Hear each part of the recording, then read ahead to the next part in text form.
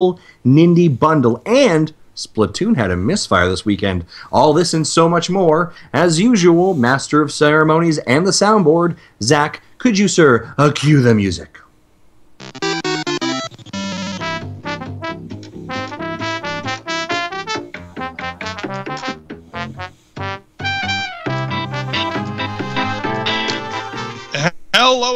Welcome to another episode of the Nintendo Dads Podcast. My name is Zach Erickson, and tonight is May 27th, 2015. Joining me tonight for Nintendo discussion and, uh, you know, predictions and, and whatever speculation was the word I was looking for. Justin Masson, what's going on, Justin? Hey, friends, how are you? It's Wednesday. I'm, I'm excited to be here. How about you guys?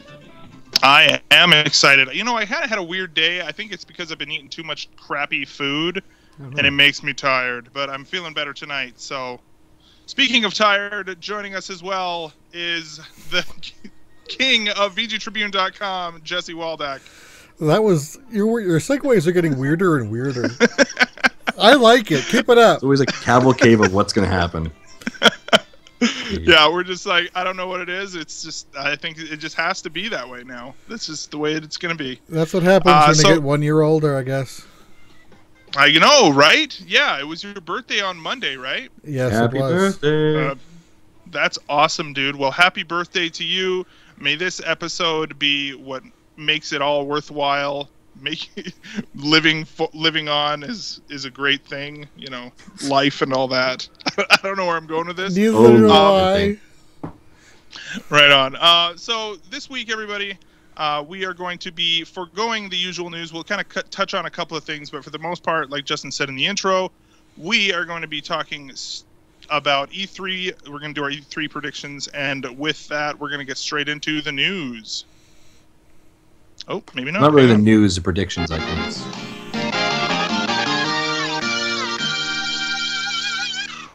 Yeah, I just finished saying uh, we're not doing the news, and now I said we're doing the news. Uh, I still wanted the bumper. Let's Yeah, it's it a nice that bumper. You got to use it. I know, right? So, uh, so let's talk first of all.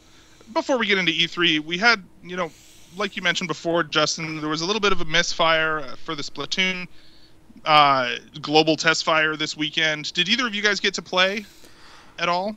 No, I tried to. I tried to get on at the uh, four o'clock Mountain Standard Time is what it was. I tried to. I tried to get on, um, and had uh, had no success. I was able to get through like the demo section, and then just waited in queue to connect. Uh, so that was definitely a bugger. Yeah, I kind of had a similar sort of experience. Um, I actually, my brother texted me at probably like 20 after four and was like, "Hey, you playing Splatoon right now?" And I was like, "Oh crap, I forgot. It's right now." Um, my wife and I were in the middle of like cleaning our office or something, and it was just like, "Oh crap, okay." Uh, like I quickly ran out and tried to to play a little bit, and after about 10 minutes, I was like, "All right, this isn't gonna work." And then I left. And apparently, so apparently though, they actually did extend it an another hour afterwards, which was nice. Um, you know, this was a stress test, so I mean, it's not completely unheard of for something like this to happen. But uh, yeah, uh, you know, apparently after they fixed the problem and they put out the fires, then it was fine. So uh, that's coming out this Friday, guys. Holy crap! This time tomorrow, there will be half an hour till the till.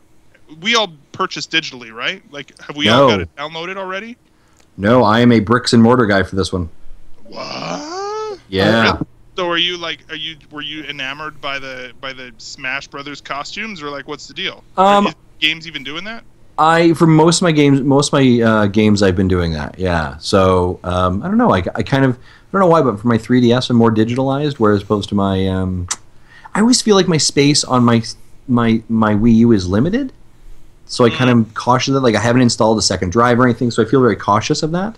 Yeah. Um, yeah, I don't know, and I and I, you know, I went down there and I did the pre-order because I, I was getting I wanted to make sure I had pre-ordered my my amiibos at the same time, so I kind of did it all in one wave. okay, cool. Yeah, because I I actually have like a. It's actually the Wii U will only recognize a two terabyte drive on Mm. there, like a two terabyte hard drive. I happened to have a three terabyte one that I wasn't really using. Like I had it for like backed up photos, but I had a, have another one that's one terabyte. So I was just like moved everything onto the one terabyte one, and then just did the three terabyte one onto my Wii U. And yes, there's a terabyte of data that's just wasted in the process, but this way I can download all of my games pretty easily. So Yeah. so yeah, I've so that's going to be I- this I've- weekend.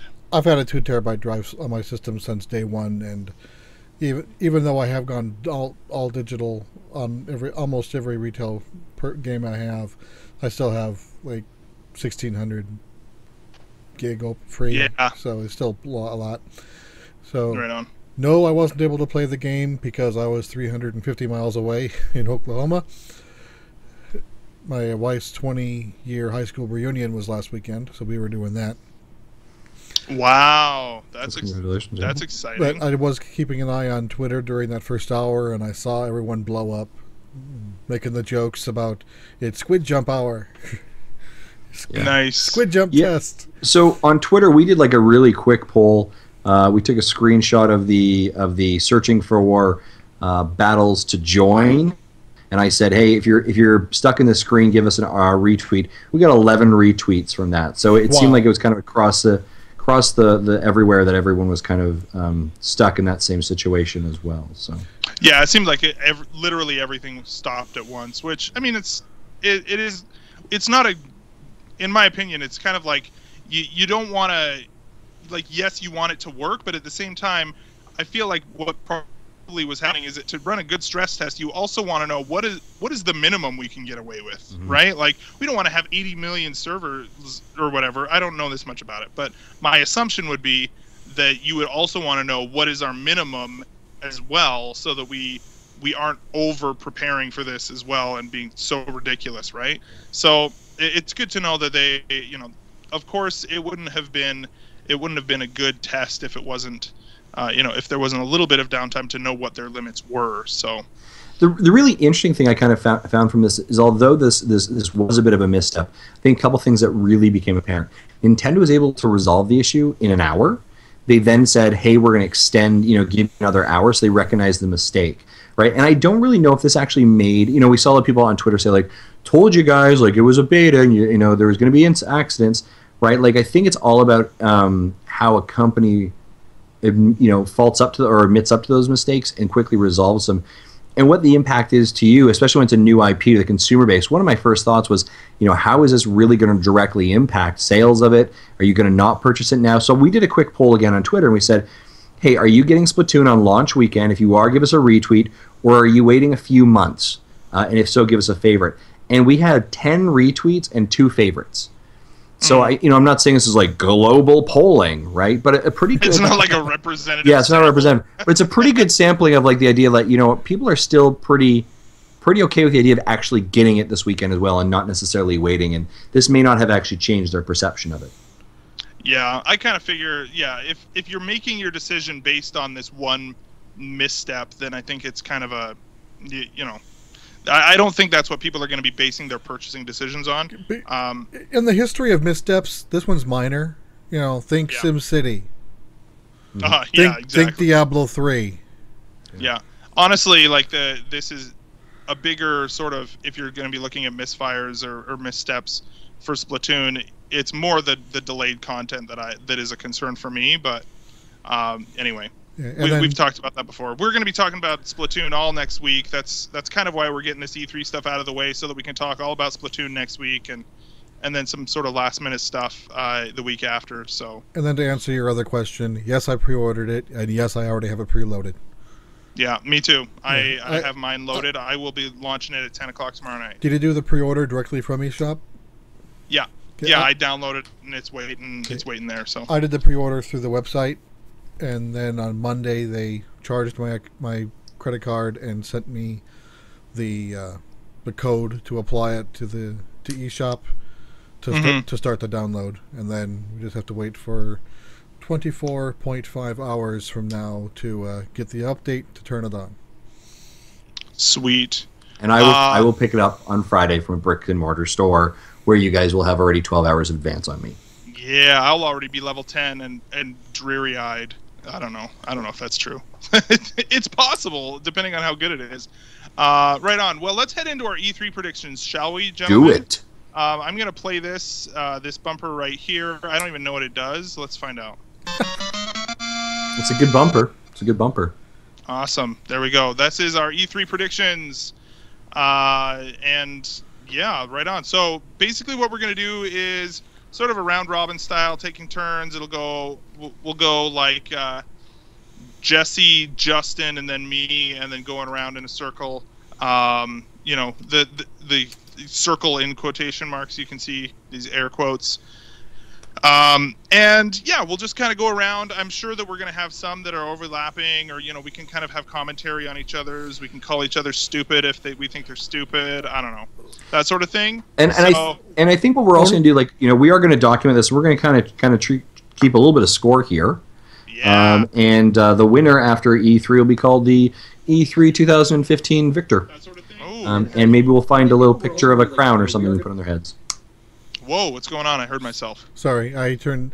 I, I logged into the Twitch stream, and normally it's or it's pre-muted, but for some for some reason it was not muted this time. Oh, Well, you know what they say about going into Twitch unknowingly. Oh.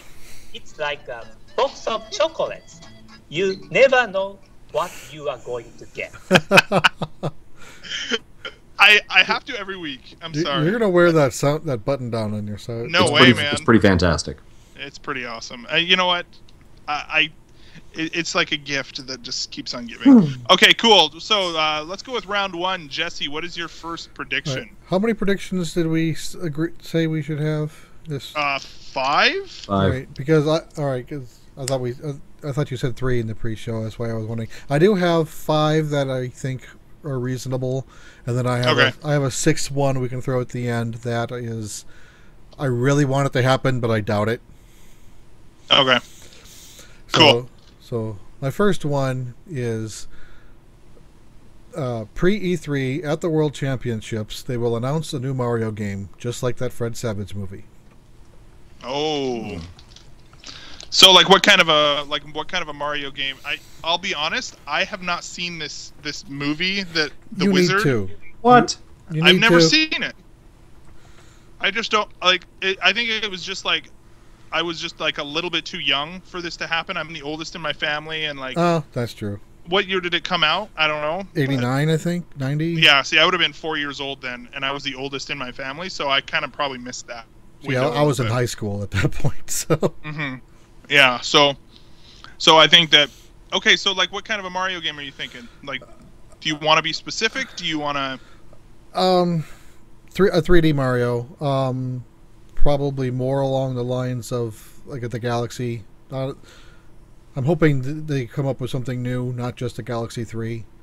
But it- Mhm. if they innovate like they did with World 3D World, I would be happy. I don't. Okay. I don't want a Galaxy Three. I don't want a 3D World Two. I want something new. Okay, I just don't So know what.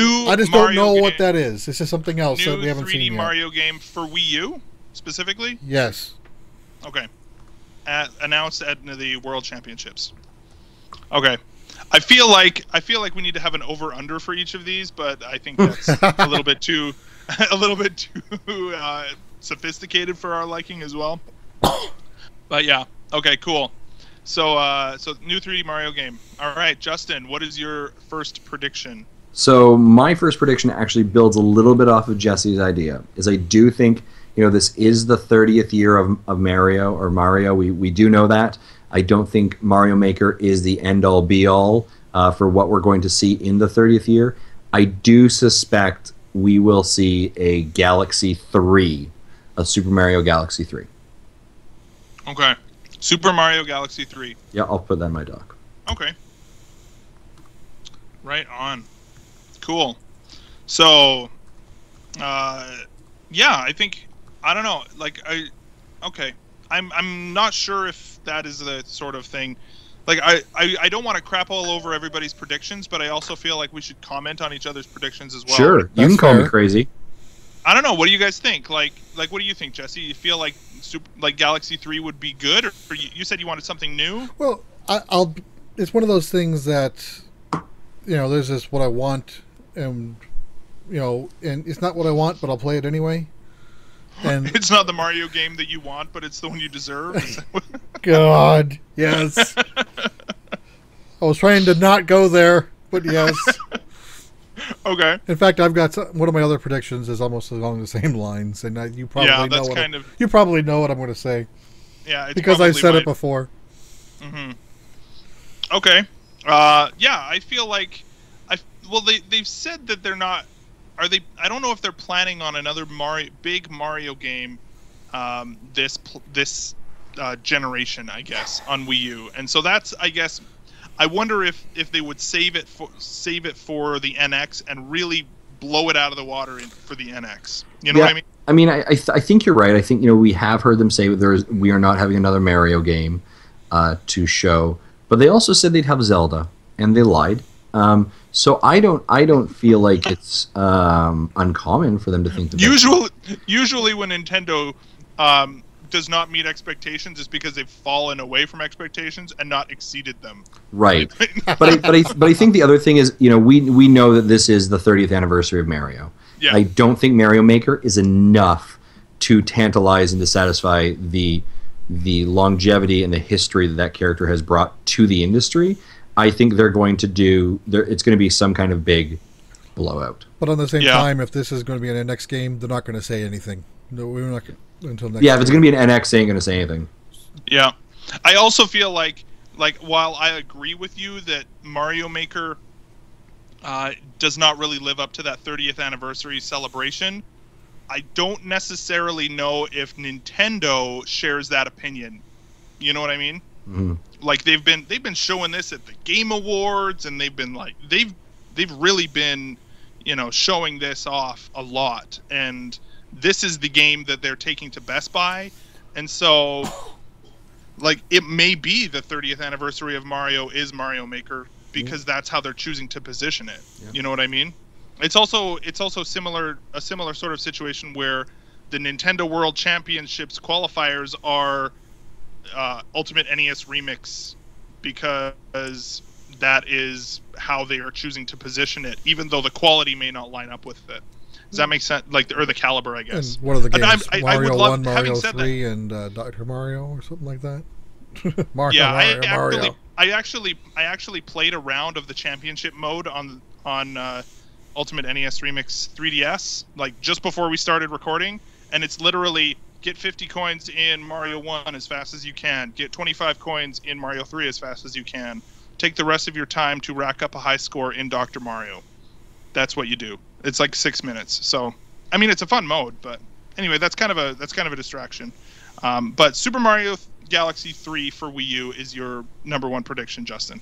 Yeah, that's that's what I'm going to start off. I, I'm I'm kind of going for the fences for a lot of these things. You'll see as I'm continuing to unroll them. Okay, cool. All right. So my first prediction is now the recently the Pokemon Company has been teasing big projects, and they recently announced what you know there was supposedly this big announcement that was coming that was that ended up being like Pokemon Super Mystery Dungeon or something like that, and everybody was super disappointed. I am going to call that the next game in the the normal Pokemon series is going to be announced at E3, and it will directly tie into Amiibo. Oh, So Oh. that is my yeah, that is my number one prediction. I'm not sure if they'll do cards or figures or what, but it will. The next the next mainline Pokemon game will be announced, and it will have Amiibo integration. That is my it, and it'll probably have new 3DS features of some kind. I'm not sure, you know, whether that's again if that's Amiibo integration, if that is improvement, you know, improvement on the engine from the processing power and actually getting like full 3D. I'm not sure what it is, but there will be new 3DS integration in there. Um, That's so yeah, be awful in the market. yes, you- with you know new Pokemon based amiibo, when it means a new a new things to be a shortage on, which now you have a wider audience because you have all these little kids interested in it, where maybe the kids aren't as interested in the other amiibo, Mhm. but they will be on this one. And it will also create a shortage for those little hockey pucks for the people who don't have a new 3DS. Uh, That's the, the next thing I was going to say is they need to Yeah. really beef up the supply of the. Uh, have they, has that even been announced released yet, or is that still in the? Uh, that is releasing the same day as the Animal Crossing card game, okay, or the Happy Home Designer. yeah. So that that thing's they have to get that thing out there. Yeah, and, who knows? May, they, and they may put like a, a package deal in that, you know. they would almost like- have to. Yeah. So yeah, there we go. Because that is my number one. I, I would not recommend a little kid getting a new 3DS XL just so they can use an amiibo. Mm-hmm. Yeah, exactly. Right, like all these kids with like a 2DS And and a hockey puck the- thing the quick, and an amiibo. Like, how many little dongle what's its? now will and the what? dongle work with the 2DS? Does that Yes, have an because IR it, port? it's entirely it's entirely through the IR port. Yeah, All right, so uh, two, I wasn't sure if the 2DS had an IR port in it as well or not. yeah, it does. Okay. Yeah, because there are certain games that require it, right? So, and I think I think that some of the uh, I think it was Mario was it Mario Kart that used the I don't know what games use the IR port, but I know some of them do. So, I've never. wait, I've only ever. Poke- I'm almost sure that Pokemon does actually through the through trading. I think there's an infrared trade thing there. oh yeah. So See, I, I never So, got yeah. far in X and Y, so I did, don't know what the what they do. Mm-hmm. So I mean, they could either do maybe maybe this is the sort of thing where they revisit the smaller amiibo figures, right? Or they could basically do exactly what they did with Pokemon Shuffle with the blind bags. That didn't go over very well, but I can see them doing it again anyways. I don't know. Those So, ones are we'll fragile. I ended up having like five of them break off their base. Oh, really? So yeah. Okay. So yeah, anyway, that's that is my prediction. New mainline Pokemon game with amiibo tie-in. Uh, Jesse, your turn for your number two prediction. All right, I'll kind of go along the same lines as you did. I'll say the next Pokemon game will not be Pokemon Z. Instead, will be uh, they'll do something similar to what they did in Generation Five, where they had Black Two and White Two. Hmm. Okay, so it's uh, so it's like a X two and Y two or something like that. Yeah, it'll be some additional pair instead of just being a third game. Okay, so a sequel in the same within the same generation. Yes, Okay, because Cool. why not? Because it's more money that way. because it it the fact that they would only sell one of them is just less money for them. Exactly. Yeah. you know, they did it once. They'll probably never go back again. hmm Uh, the thing is, is like with the with the um, with the these games, the new 3DS hardware really does like represent a pretty good opportunity for them to fix some of the problems with X and Y and Ruby and Sapphire or Omega Ruby and you know those remakes, uh, especially with that engine. Like I that engine in those in those in the 3DS games thus far. With with it being like the inconsistent 3D, with the choppy sort of uh, you know frame rate that can happen. Hmm. Uh, I- it, it is I- definitely needing to be to be beefed up a little bit. Yeah, and I, I did hear that the, the new, processor power from the new the, the new system really doesn't help much. It's still pretty choppy. But I also don't. It's yeah, I think- think I did try it. It wasn't. It did help a little bit, but it wasn't a ton. But at the know. same time, I don't think they'll spend a lot of effort to fixing that. It'll still just be the same engine, and Mhm. just slap on a new story. Yeah, yeah, I think, and who knows? Maybe they'll. know, Yeah, they're annualizing Pokemon, and they, they've had a new Pokemon game now for what six years in a row. mhm. They've they they can't they have to get as much as they can out of that engine. yeah, yeah. They definitely need to do that. That's for sure. So, I don't know. I'm kind of fatigued on Pokemon, anyways. Right now, I I'm not just because I say that they're that they're gonna do this the this new Pokemon game doesn't necessarily mean um, that I'm excited about it. I still am Oh, like halfway through Pokemon Omega Ruby, and I'm just like, eh. Yeah, I've I've been burned out too. I didn't even buy last year's game, and I only got maybe three or four hours into the into X or Y or whichever one I ended up with. Mhm.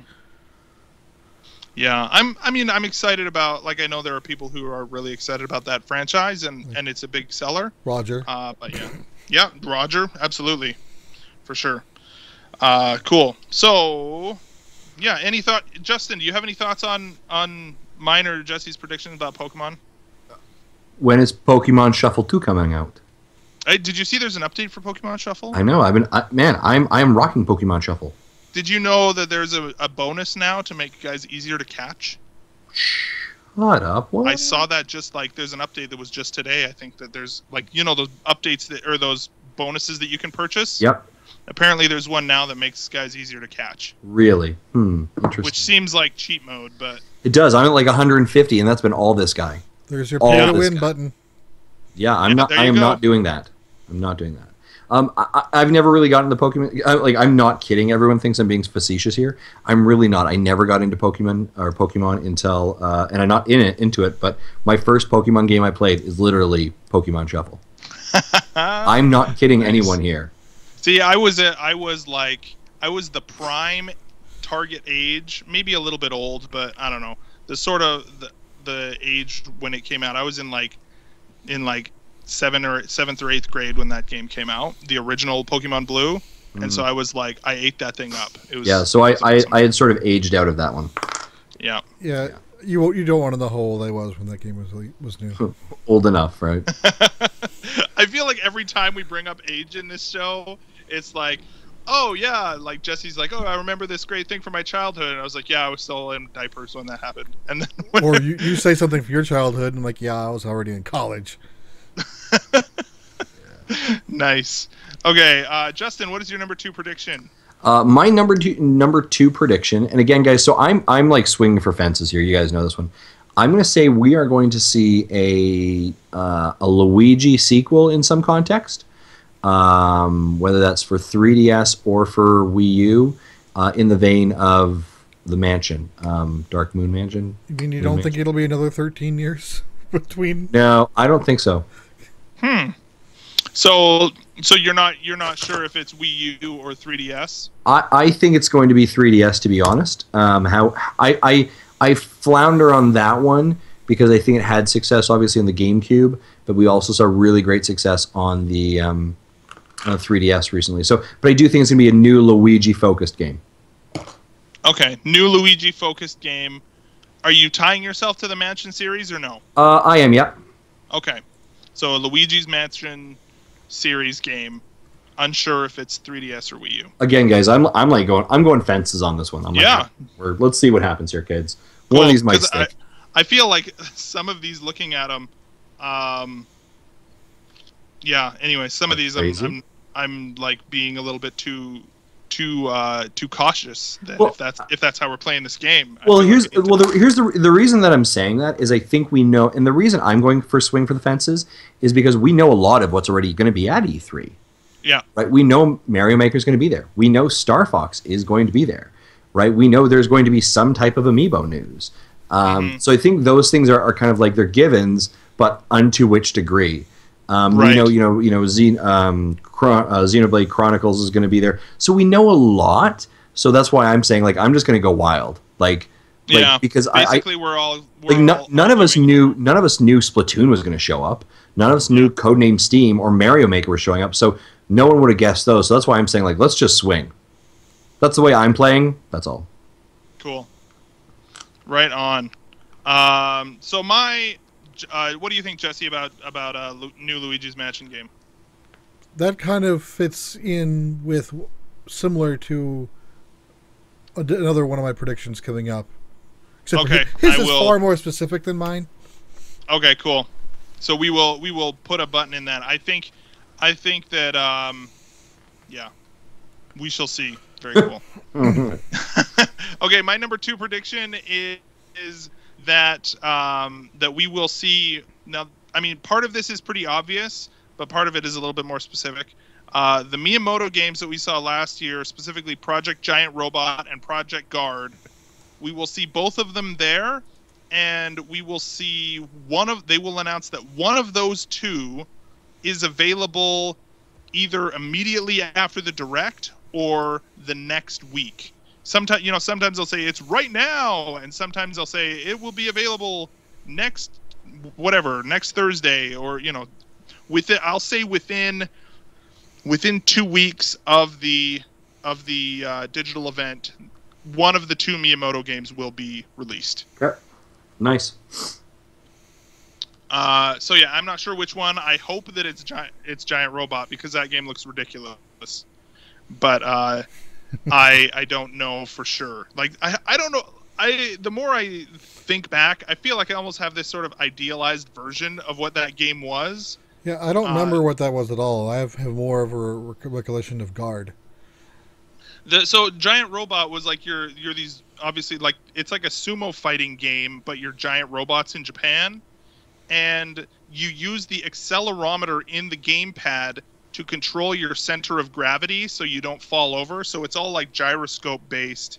So you have to like lean way forward in order to not have your huge like robot tip over when he, when it gets hit. It's really weird, but like from from the demos that I saw of it, but it looked also like the the potential it was was pretty cool overall. These But weren't playable on the show floor last year, were, were they? They were, they were they just- played them they played them on the treehouse Yeah. uh, live stream. I remember that, and that's Right. where I was like, "This But the- game is so weird." but it wasn't available for others to try. No, it wasn't hands on. Okay. No, it wasn't. No, they were just kind of showing it off.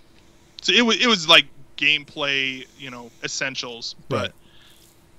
I mean, that would be a great game too. By the way, uh, where they have some sort of cool amiibo integration where you could like decorate your robot with like decals and stickers and stuff like that. If they're gonna go go that way, but I'm Make I'm not gonna turn your that robot into a Mario, just like the uh, the Yarn Yoshis.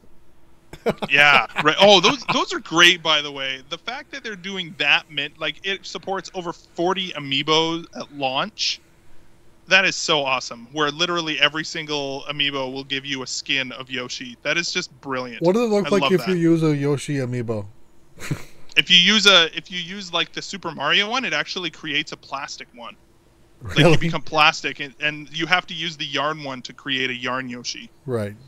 Uh, yeah it becomes it becomes plastic it's cool uh okay so uh jesse what is your number three prediction okay, so I'm. I, here's a more of a number, and not, just nothing specific. Just I think at least five new games will be announced that we have not heard of yet. Oh, wow. So, Oh. so your your Miyamoto demos from last that was announced last year don't count. You know, Mario Maker doesn't count. Star Fox doesn't count. Anything that we, has been mentioned before doesn't count. With at least two of them being out before the end of this year, i like it and the previously mentioned uh, X2 and Y2 possibilities counts as one game. So the so there there are existing IPs that we're, we that we could potentially be aware of. Yeah. So if if uh, they say Galaxy Three is announced, that's one. Okay. If they say chickens and feet, that's two. And I'm not counting, and I'm not counting anything in an indie montage. This is Nintendo. Uh, nintendo published Nintendo Yeah. published big titles Okay. because I'm going to see we're going to see ten new games in an indie montage. We know that. oh yeah I'm not counting those. Okay. Yeah that makes sense. I i like that. I think that that is Because they need to be ambitious, knowing with What an if- X coming down, Okay. they, they need people to have a reason to still want a Wii U if they haven't bought one yet. okay clarifying question just for spe- specificity here if we're doing this point system. Um d- what if it has been announced for a different region but not for north america? Like for example rhythm heaven does that count yes or no I would it's say fine no. it doesn't it's five that are totally unheard of so far Yes, okay all right which It's cool. very specific. which also yeah i wanted to know because i didn't want to get caught up in the technicalities later which You also- want that crown? Yeah, which you know, my I want it, but I doubt it'll happen. I mentioned three games specifically. If they are mentioned, they don't count because they are they are known quantities in Japan. Mm-hmm. Okay. I'm game. That sounds good. Cool. I, I really hope that comes true. Right on. Uh, Justin. Uh, I'm gonna say it. Uh, Metroid. Oh, I also have this down. And you, what are your specifics for Metroid? That it's Metroid and it's on the Wii U. Okay. That's it. I don't care whether it's Prime Four. I don't care whether it's other M, the Electric Boogaloo sequel. I don't care. But Metroid will be announced. I here's a challenge I have with the statement I'm going to make. Hmm. Nintendo has very much said that they will be focusing on games that you can play in 2015. I don't think Metroid is ready for 2015. If it is, like awesome, but I feel like it's more something they're going to position into a 2016 spot. They've But- also, you know what though, when they when they announced their business briefing that is going on the same time as the digital event, they also did say a preview of games coming in 2016. Yeah. So they have said that 2016 is going to be on on the the agenda, right? Yeah, like but, but but but we, but we know like especially after the Zelda fiasco, they they very dedicatedly said we want to focus on games you are playing this year. Yeah. Having said that, they there's no reason that they couldn't give a trailer. That's actually that's actually my next one as well. You're saying specifically Metroid on Wii U. Yes. Um, mine is specifically Metroid by Retro. Oh, So okay. Retro Studios is doing the new Metroid. I don't care if they do a Metroid for 3DS. Frankly, I don't know. I don't think they would, and I don't. I don't care if it's Metroid Prime, uh, the Metroid Prime series. But I think that Metroid or Retro is doing Metroid, um, and if that means that they take a totally different approach to the same franchise, then that's what they do. Um, but I, I think that that's definitely what. Um, that is my prediction for Metroid. You're gonna like this. I I got my prediction. My next prediction goes even deeper than that. Oh man. I say Retro Studios' new Metroid game will be announced. Like I said in the past, I'm hoping for a 2D or hybrid game like Other M versus an all first person game like the Prime series, but it will likely be Prime 4, and then I'll cry internally. Right then. Nice. Yeah, so it sounds like it sounds like all three of us are uh yeah. Yeah. So so let's So, let's so that actually brings us right back to me. Is that right? If it yeah, does, so you so so we're all thinking you're specifically so just to clarify Jesse, you're specifically saying Metroid Prime 4 well, or are you just saying I'm Metroid? I'm saying okay, it it's Retro Studio makes a Metroid game, and I'm just kind of speculating at that point, thinking, you Okay. know, I'm wanting something besides a Prime game, but I'm thinking it'll likely be a Prime game. Okay. So so are you saying Prime Prime yes or no? it's okay if you say no, it's okay if you say yes. I'm, I, I don't know.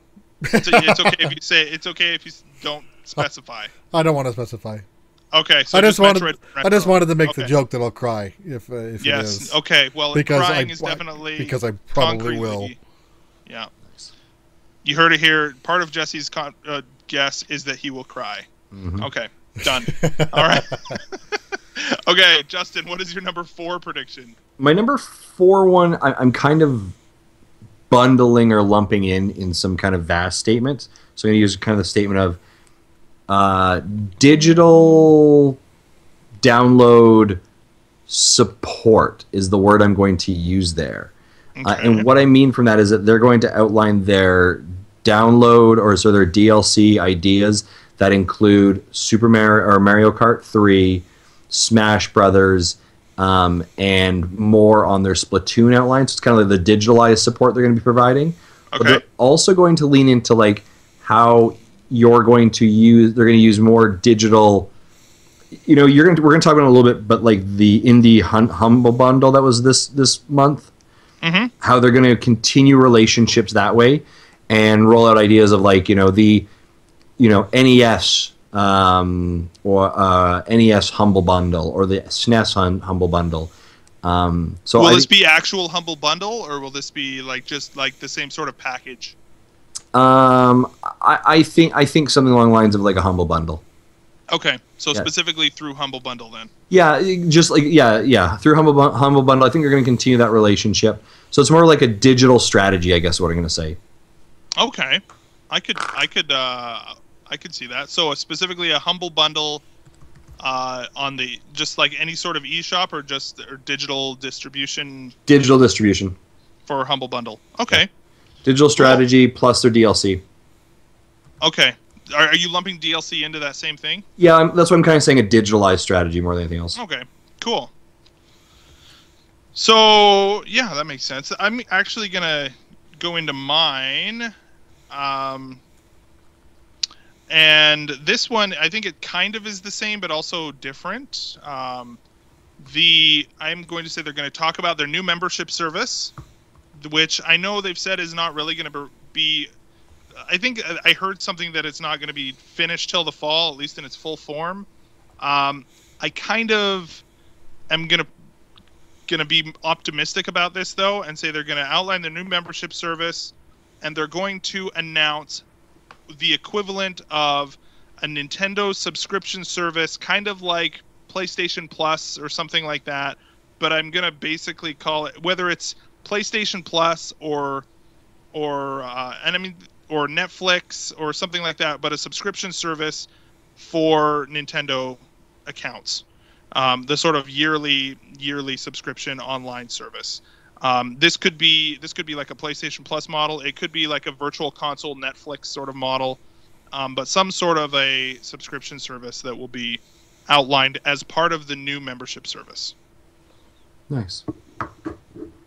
So that, and I think that that will be because basically what they want to do here is when they, you know, it's not going to be enough for them just to say, oh, we have this new membership service. It's really cool. They're going to need to have something to pull people in, and if it can also increase the value for for anybody who owns a Wii U, then that is a huge boon for them. And I think that is the reason why I think that they're going to have some sort of a a value add for that membership service as well because um, because otherwise it's it's it's not going to be that exciting and they don't want to go the route of club nintendo where it's all physical goods you know you can see them moving away from that a lot so it's going to be digital goods as that incentive so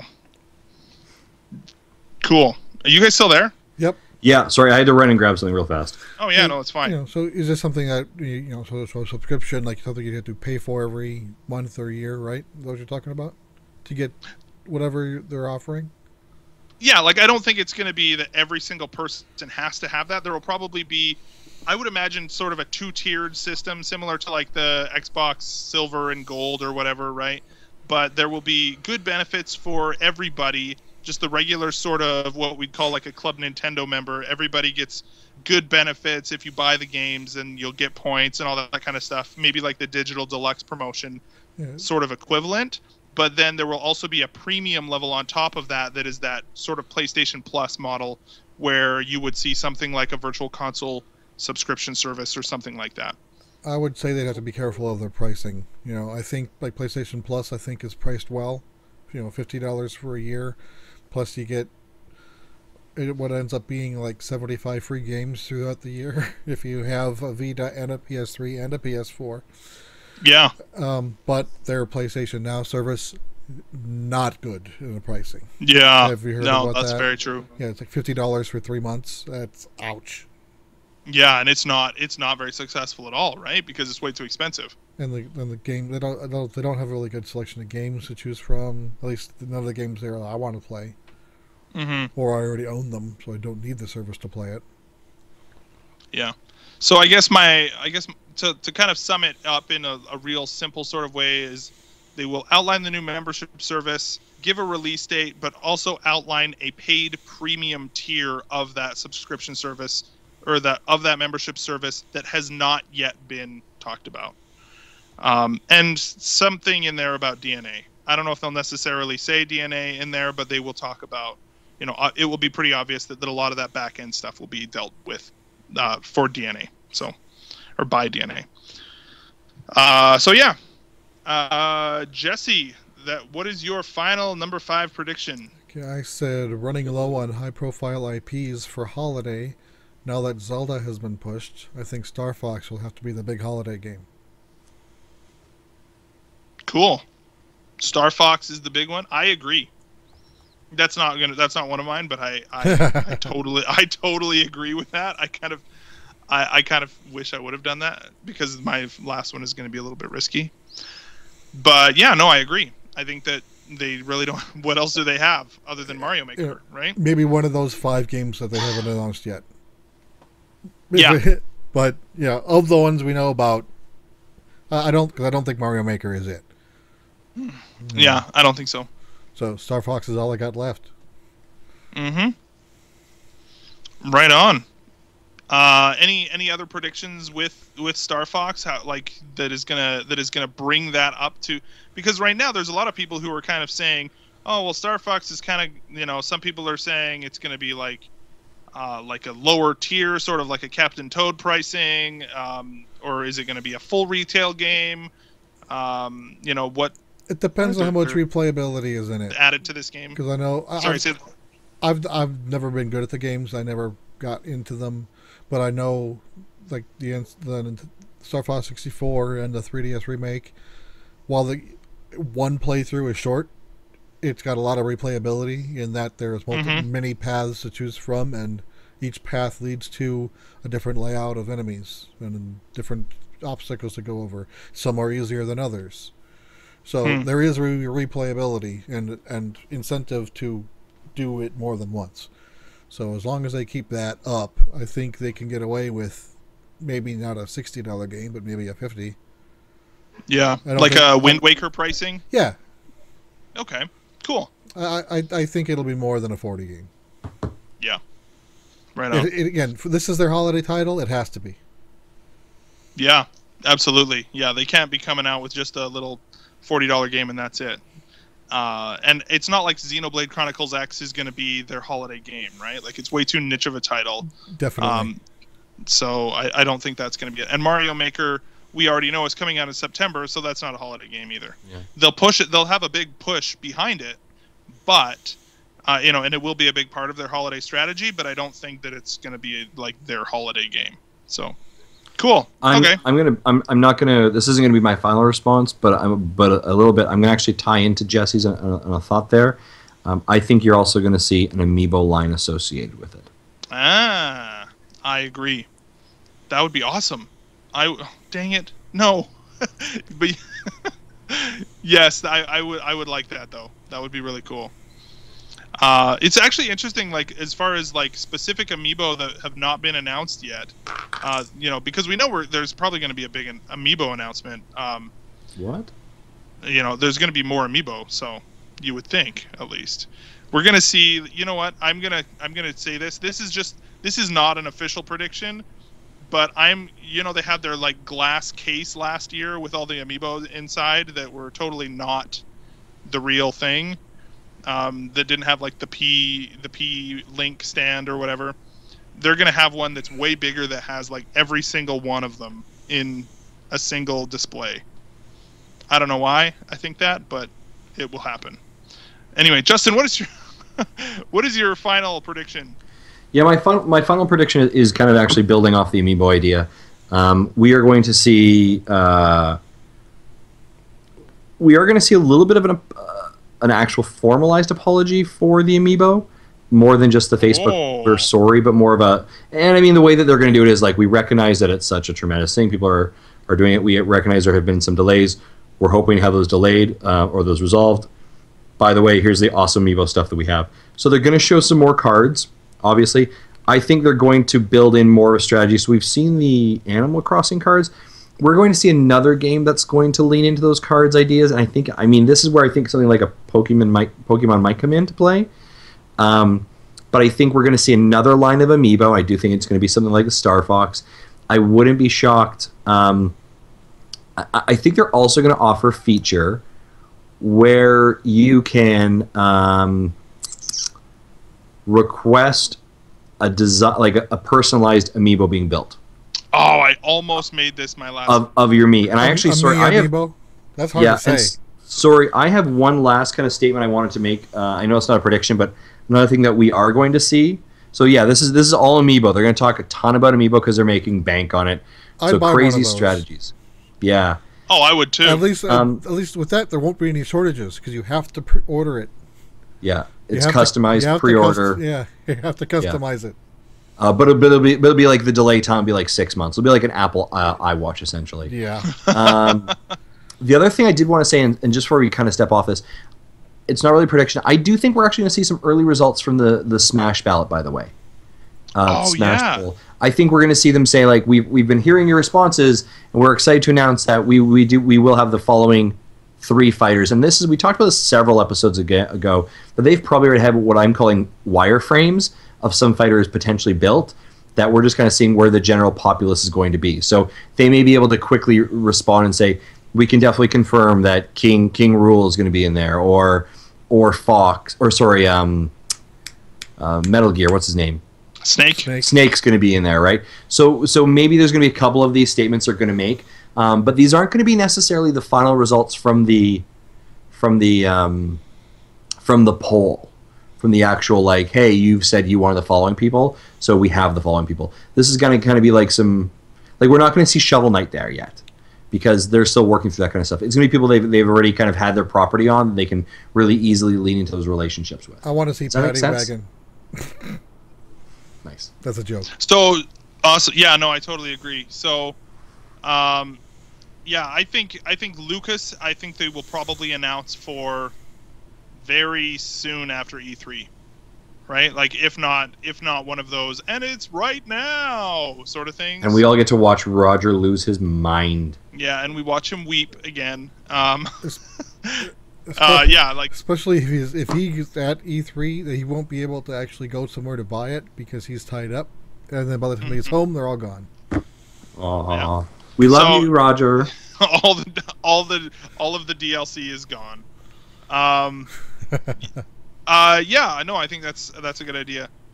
Uh, so just to confirm for your final prediction for the ballot, um, what is your like your formula? Your see an amiibo apology specifically Yeah, like like in the way that Nintendo would apologize, which is a non-apology. yeah, a non-apology of like I'm we sorry. love that you're so. yeah, we're, we're very we our fans are awesome. We appreciate it. Please So, understand. yeah, please understand that we're working on it. By the way, here's more things that we'll, we'll throw at you that will create this problem. yeah, Yeah, that's exactly what it's going to be. Please understand. there it is. Yeah. There we go. It actually, I forgot to put it on my soundboard this time, so oops. Yeah, no, I totally agree. Uh, cool. So, um, my final one is probably going to be. I almost feel like it's the most controversial or risky of them all, of mine at least. Um, and that is that they are going to take some sort of. They're going to make some sort of a a strategy or some sort of an effort to make the Wii U more compelling. Now, the two that I've specifically thought of are either a price drop or a hardware update for the Wii U.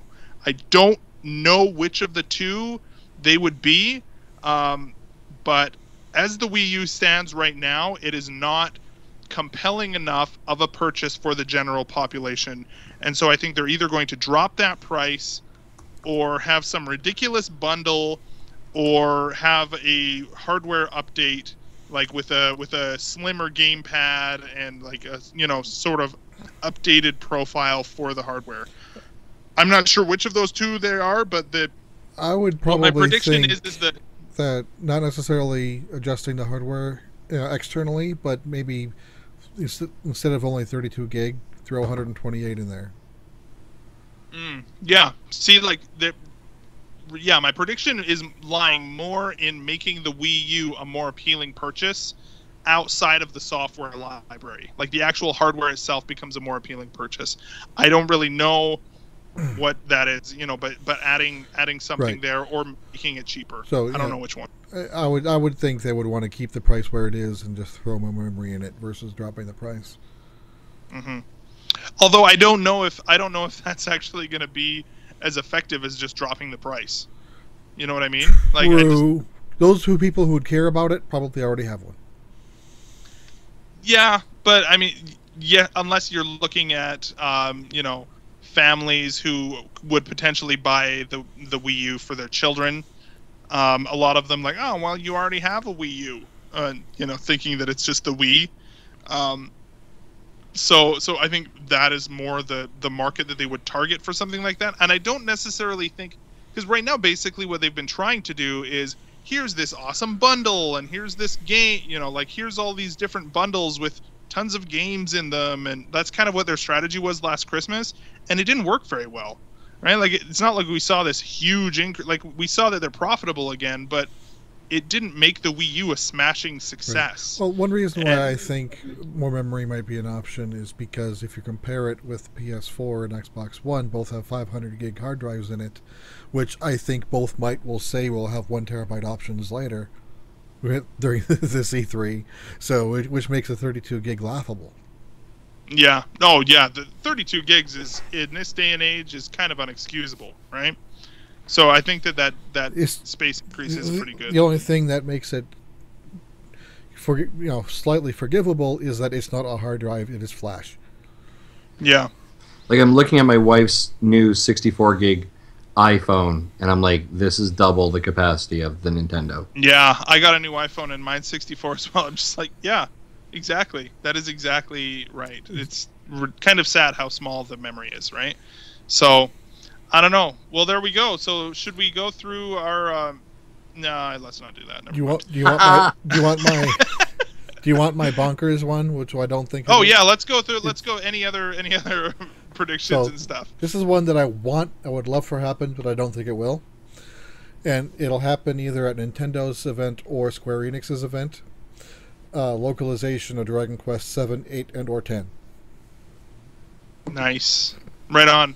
I'm gonna say, um, for for just kind of other ones way out there, um, we still don't know really what the big um, holiday game is. Oh, see, now that I, as soon as I see the holiday game for 3DS, I think that this new Pokemon game is going to be it. But I don't necessarily think that it's good enough to, going to be good enough to carry it. Um, I feel like we're going to see either a new Zelda game on 3DS or oh dang it i'm trying to think what else or a new i'm going to say 2d metroid is something that would be great on 3ds so uh, that that's that's sort of a, a not you know that's a, one of my freebies but I'm still, and uh, I, I'm still waiting for Zero Mission to be released because everyone else in the world's got it. Yeah, uh, I'm still, uh, and I'm, I'm also in love with the idea of, uh, you know, custom me amiibos. That's I love that idea. Yeah, like it, that's a bit of a wild card because I mean the actual product, the actual production of that is like crazy. Yeah, that would. Oh, it's I'd nuts. imagine that'd be a, a expensive as hell. It's just because it's not price effective to make one amiibo. Yeah, it it'd be at least fifty bucks. You know what they could do though? Um, what if you had like, if we're really going to go down this rabbit hole for a second, what if you had a line of like, kind of like what they have with the Nendoroids or whatever, where they have like the the interchangeable parts. Mr. So Potato let's Head say you- amiibo. Yeah, so like let's say you've got like the regular, you've got the different colors or whatever, right? You can have like a, an assortment of colors for the bodies, but you have a blank face and you have interchangeable hair pieces, and you can have custom printed decals for the face. So I don't know, maybe that could work. Who knows? I'm I'm looking for solutions here, but uh, I think that the best way to do it would be a custom printed uh, amiibo. But the amount, the number of people that like they can't even they can't even make a million of the same one and then sell them all and get them all to people, right? So it's not like I think that they're a long ways from doing that custom amiibo thing, but I love the idea of it. Uh, cool. Any other bonus bonus ones, guys? My other crazy like for the fences is new Zelda 3DS. Yeah, you, you think so as well, hey? New Yep. new 3DS Zelda. Yeah, I I kind of hope so. I also think if if they're if Metro if Retro isn't doing Metroid here, there we know Retro is working on something, and we also who's who are the people who did um, Luigi's Mansion 2? Is that Next Level Studios or who's that? Sounds familiar. Oh, I can't remember who that is. Anyways, I, I I'm gonna just drop that where it is. But I think that we're gonna get a new, we're getting another new IP. They've been getting a lot of positive feedback from from having so many new IP lately. We're It gonna is- see another. It is next level. Is it? Yeah. So maybe it's either Retro or Next Level is gonna have a new IP. I don't know which one. Um, I know my specific prediction is Metroid from Retro Studios, but we shall see. Okay, cool. Um, so should we go? Th- let's actually go through these five. So Jesse, your five predictions are: number one, new Mario game at World Championship match. Um, number two, a, sequel to the Pokemon X and Y games in the the same sort of vein as Black Two and White Two. Uh, that there will be at least five games we've never heard of, two of which will be out by the end of the year, and they are Nintendo published. Uh, Metroid from Retro Studios, and Star Fox will be their big holiday title. Justin, yours are Super Mario Galaxy 3 for Wii U, a sequel to the Luigi's Mansion series, Metroid on Wii U. They will talk about their digital strategy, uh, which will involve Humble Bundle and DLC, and they will apologize for the Amiibo fiasco in Finally- the way that they do. in the way that they do. Yeah. Please understand. And fi- and finally, uh, my predictions are uh, there will be a new Pokemon game with amiibo tie-ins. Project Guard and Project Giant Robot will both be shown off, and one of the two will be announced, or one of the two will be released within two weeks of E3. Metroid from Retro Studios, the new membership service, including a paid premium tier, and some sort of a Wii U update slash price slash or some sort of a bundle will be announced uh, in order to sell more units. Uh, so cool. That is what we have. So that is that is the predictions. I'm excited to see. Do we have any bets on like what what does the winner get here? Nothing. Sorry, what's the what? What is what does the winner get? Are we are we? We said we said a crown. A crown. We- Okay. A crown.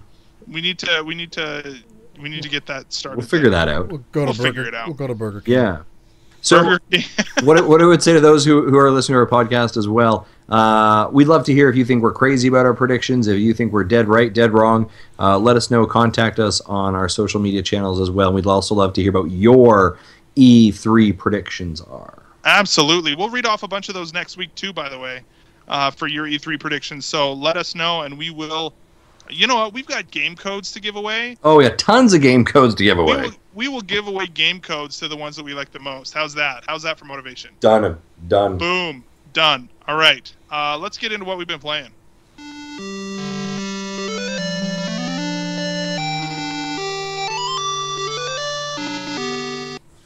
All right. So, what we've been playing this week. Now, for those of you who are not aware, I, was it just yesterday this went up, the Nindie bundle? Yep. Yeah.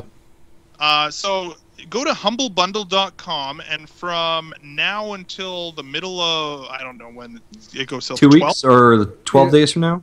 12 Yeah, and so a another half 12 days. So Uh, yeah. So head over there, and this is the first Humble Bundle that is for console games from, uh, you know, from Humble Bundle. So go over there right now. I'm going to pull up their website, um, and here Hmm. are the games that you can get if you pay ten dollars. But which, by the way, you can make all of this go to, to like donation to charity and stuff. And so, and all of these, most of these games. You know, it's a sweet deal. So just pay the ten bucks and get all of them. So I think sakes. that's June 9th at noon Central Time. There you go. So here are the games for if you pay just even a dollar, you'll get Guacamelee for Wii U. Noon Mountain Time. Sorry. Okay. Uh, Guacamelee, for Wii U, Woah Dave for 3DS, and Mighty Switch Force for 3DS. You can get all three of those games for a dollar. If you pay more than the average, which is currently nine dollars and twenty-five cents, you'll also get The Fall, OlliOlli for Wii U and 3DS. Uh, you'll get for both, and I'll talk about that more in a second. Uh, Moon Chronicles Episode One, and if you pay more than ten dollars, you'll get Stealth Inc. Two and SteamWorld Dig for both Wii U and 3DS. You'll get a code for each. And they've So- announced there's still more games to be announced. Yes, there's still more games coming. So, uh, as for OlliOlli, by the way, I figured this out earlier. Um, well, I figured it out after I redeemed both of the codes, but there's still currently a buy one get one free sale for OlliOlli. So if you buy it on Wii U, you get it for free on the 3DS. It triggers the discount just the same. Um, so you can give that other code to somebody else, and they'll get both games for free. So that's a pretty sweet deal. I don't know if that's how it's supposed to work, but that's how it's working right now. So, um, so yeah, OlliOlli is also on there. Go and check it out, uh, and uh, we have some codes to give away as part of that deal as well. So we'll be giving those away if you would like them. Uh, what I personally have been playing this week is a few games from this that I had not played already. I had played I had played a few of these already. I'd played SteamWorld Dig, I'd played Moon Chronicles, and uh, Mighty Switch Force. What I had not played is, well, I actually have played both Woah Dave and OlliOlli, but these are both games that, for some reason, I played them on the Vita a while ago. I think they were both free at one point. Um, and they're both way. F- I don't know what it is, but they're both way funner on the 3DS. I don't know what it is, but uh, I played OlliOlli today for probably about an hour. Which, if you don't know what it is, it's kind of like a. Would you say it's like Skate or Die almost? if you've ever played like Wow. old, like old skateboarding games, uh, you know, it's like a sort of Tony Hawk where you you, you jump and grind and, and jump and you know it's basically like a skateboarding uh, endless runner sort of game uh, and it's really really fun on the 3ds i don't know what it is about about specifically on the 3DS. I, I tried to play it on the on the Wii U and it didn't grab me, but I played it on the 3DS and it grabbed me instantly. I think what it is is the circle pad. The circle pad provides a little bit like I this is just the way that I personally experience it, but it there's more precision to it, right? Where it's a little bit more a little bit more snappy in in the feel for for the jumping and grinding and stuff like that. And so I really like OlliOlli on the 3DS. And it is the kind of game where you try and get through the level and you die and it instantly restarts the level and you continually try and do these combos and tricks and you know it really brings me back to Tony Hawk, you know, when I would play like Tony Hawk Pro Skater 2 or Tony Hawk Pro Skater 3 or whatever on like the PS2 and me and my friends would just play that forever. And it's a really fun 2D side-scrolling version of that, uh, and it's really simple but really really fun. Um, and the other one is Woah Dave, which is, uh, it, it's just like a classic sort of arcade style um, game where you, you I'm assuming you play as Dave, right? Where Whoa. Whoa, is his name actually Whoa Dave? I don't know, but I just want to say when you're like Dave, whoa. Whoa Dave. Um, it's it's really fun too, where it's it's basically like uh, there's these eggs falling, and then the after a certain amount of time, the eggs will turn into enemies, and you have to throw eggs or skulls at the enemies in order to kill them to collect coins, and you you know want to get as many coins as you can, basically. So with it's the- really fun too. The graphics are more reminiscent of an Atari 2600 or in television game.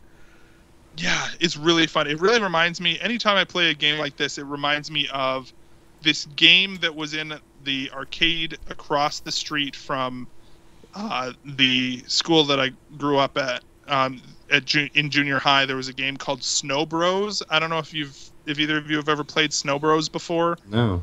Um, but it, it was the same sort of same sort of deal where you would like run around. You were like little snowmen, and you throw little snowballs at the enemies, and it would slowly collect into this giant snowball, and then you push the snowball, and it kind of like roll down the down the level and take out all the enemies and stuff. It was really fun, but uh, I played it a ton. But anyways, I remember there uh, was a Skate or Die arcade at the uh, grocery store I used to go to all the time growing up.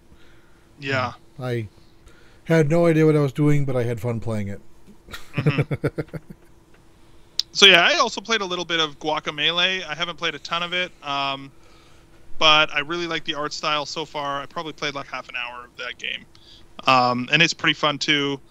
Uh, although it, I don't know what it is, but this kind of game doesn't really grab me as much as I would hope. And you know what? I think it might honestly just be that I like handheld games better than console games, and so if it's on the hand, if specifically if it's on the 3DS, I seem to really latch onto it a lot more. I don't know why, but uh, anyway, so that's what I've been playing. What about you, Just, uh, Justin? What have you been playing this week? Yeah, so the the primary thing I, I I've been playing that uh, that I should kind of speak about is uh, Sword and Soldiers Two, uh, which I mentioned in our last episode that I had a review copy. So I uh, I reviewed that game, uh, played played it for a bit, and uh, per, set a review actually up on uh, VGTribune.com, which you can check out. And our good editor of the show, Jesse, helped me do some editing on that as well. Um, so this is a, a tower-based strategy game um, that uh, overall I thought was was pretty good. Uh, great graphics. We talked about before. Very cartoon graphics. Comic book makes it pop. Um, there's some really fun kind of voiceover work they do to it. Um, there's some great features, including a, a skirmish, a two-player mode, and a single cl- uh, pay- player campaign. So overall, I, I thought it, I thought it was pretty good. Um, I gave it a sen- seven out of ten. A um, couple things that, that I, I'd want to kind of comment about it. I found the controls a bit difficult at times. Uh, so you get to cast a spell or call soldiers, and you're using your ZL and ZR button. Then you use have to use your analog stick, usually on your left hand, left finger, to figure out which of you know which of the four options you'd like to choose, and then you select A on the buttons to actually call them forward. So I kind of felt like my hands were like it was kind of like pat my head, rub my belly, chew bubble gum. um, and at times I felt like I was, you know, as any strategy game, as it becomes more intense and, and people are coming at you, you're trying to be quicker. And I felt like a lot of times I was slipping and it just wasn't um, catching what I wanted to do and, and trying to enable me as quickly as I wanted. Uh, the nice p- features it does have is it actually pulls it back and you can actually use the stylus as just a touch, like touching um, which soldiers you want to call where.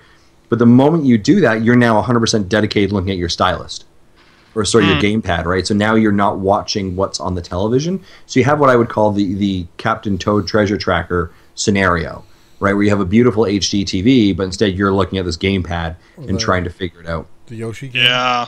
Yeah. Or like well, Kirby, Treasure right? Tracker did the same thing as well, right? Where you, you, you do so much work on, on the screen. Um, so I actually feel Oh, like the Kirby, or the Kirby game. uh, Yeah, Kirby, Kirby and, and, the Rainbow Curse. and, yeah. Yeah, uh, and yeah, Toad, yeah. that's it. Um, so the challenge, so I, I had a challenge with that, just the controls of it. Like it's a good game, it's fun. It's I kept coming back to it and playing, but like after after my sessions, like I very often like my hands kind of hurt, which is a weirdly weird place to be because you're you're kind of stretched at that ZL ZR. You've kind of got your thumb right on that dial and your other thumb right sitting below where the A A B X Y button is. So by the end of the session, like my like my hands kind of it sounds really wussy-ish, but they kind of hurt. um, and, and, it, and um, so that was a challenge. The other, the other challenge I kind of have with it, and I, and I, I didn't put in the review because I kind of struggled with the thought of it, but this game is priced at twenty bucks US. Is Hmm. it worth twenty bucks US? I think it's worth. I think it's worth the price. But the challenge I have is that when you think of like for Canada, for example, it's like twenty five bucks because the currency changes. But then I think, you know, if you're spending that money somewhere, you know, we live in a world of stuff like a Shovel Knight, right? Like that's a fifteen dollar game, um, and, and the value that I found out of that, the entertainment value, the fun, was exponentially higher than this. Um, Mhm. So it's a challenge of kind of like where indie games begin to almost overprice themselves from what they're delivering. I do fully believe that they deliver a lot for their value. I do believe that, but I wonder like when you're sitting there looking at what else in the eShop, is its price tag a bit too high for you want to for you to dive into and want to get engaged with it? I think especially when you see something like this humble bundle that just came out, right? I can I can pay ten dollars and get all these indie games, or I can pay twenty five dollars and get this one, right? Right. So I think it's a challenge. I also the other challenge I kind of have with it is you know we kind of live in the generations of iPhones and iPads, right? I can pick up a game very similar to this for two ninety nine out of the App Store, right? Yeah. Uh, which which it feels a little bit more conducive and friendly to play on a tablet than necessarily this this uh, functionality of it. So. Um, on its own merits as a game and what they offer, I, I'm I'm impressed with. The cost I think is, is, is a bit high, uh, although I do believe there's a lot of content there as well. So kind of a mixed review and mixed bags for me. I think if they definitely change the the schematics of the controls, um, it would make it better. But I, but I, I, I at times wondered like, is a strategy, you know, is a tower strategy game the best? Is is a home console the best platform to be playing that? Mm. So Yeah, you know, it's interesting because you know, it seems like a lot of games, especially indie games, part of the part of the sort of long-term strategy of it is I mean, we, we see it with with games like OlliOlli even for example, right? Where that game came out like 5 years ago probably. Um, and it, it kind of slowly moves from platform to platform um, and becomes a little bit cheaper as it moves around, you know, and it, it it's got a little bit more of a long uh, you know a longer tail on it. Whereas whereas you know a lot of these first party games or, or AAA titles tend to be kind of a flash in the pan and then it's over with and whatever right? Um, I wonder if if part of it is just setting the price high earlier and so you're because whatever you release at that is the most you're ever going to be able to charge for that game. Yeah, and especially with indies with the humble bundle you know you're looking at literally your game could be selling for you know i think the minimum is a dollar for the humble bundle so your game could be selling for 35 cents right? And so and so really wanting to to kind of be confident enough in your own product to be able to co- go out and say yes we do want it for 20 we we do feel that this game is worth 20 20 dollars right? And it's it's really hard though because at the same time the market is saying you know the, the consumer is saying i don't want to pay that much for that game right? I i really don't want to but then how do you recoup those development costs if you don't charge it? It's really it's i do not envy that sort of a situation for those guys because it's pretty difficult it's a pretty difficult situation to be in.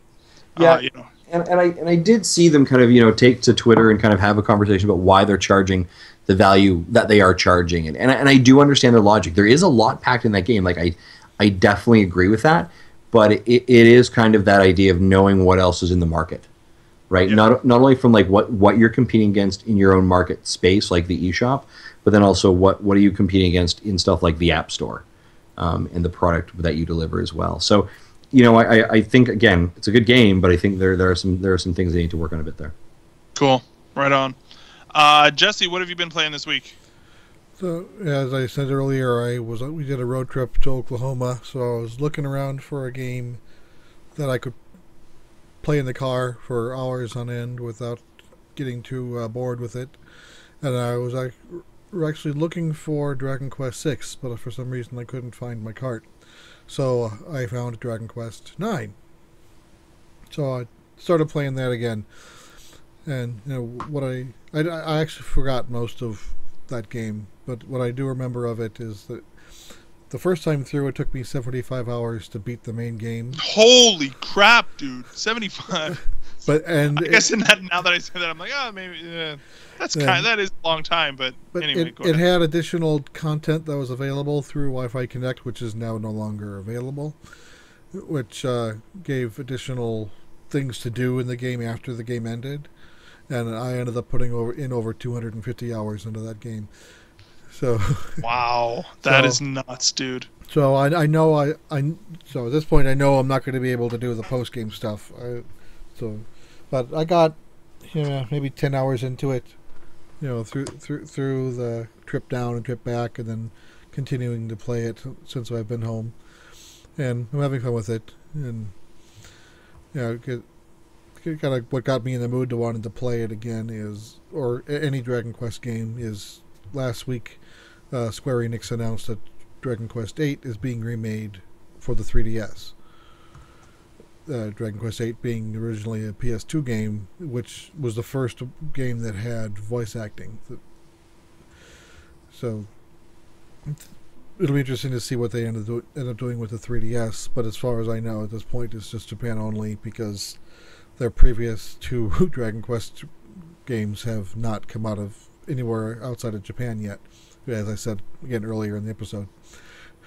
so I'm hoping that one of them or one or more comes out eventually, but I'm starting to not hold my breath anymore because Right on. Because Dragon Quest X was actually released on the Wii a year before Wii U re- was released, so that's now a four-year-old game. Yeah, the likelihood that that's coming out at all. I mean, isn't there a isn't there a Theatrhythm Dragon Quest in Japan now? Is Yeah, that a thing? that is a thing, and I pre I I'll be surprised if that doesn't come over, because there, it won't take it won't take much effort to localize that. Even if it's just an eShop only deal, hey? Yeah, if it, Seems like that's kind of the route that they've been taking for some of those lesser, um, you know, those less intense or less successful sort of. though when the second Theatrhythm game did came out, you know, for the Final Fantasy, I actually bought like the deluxe edition set, you know, with the came with a whole bunch of extras.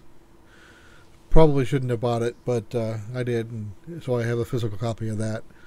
But you know, when if when and if this comes out for the Dragon Dragon Quest Theatrhythm, I'll I'll be picking that up too.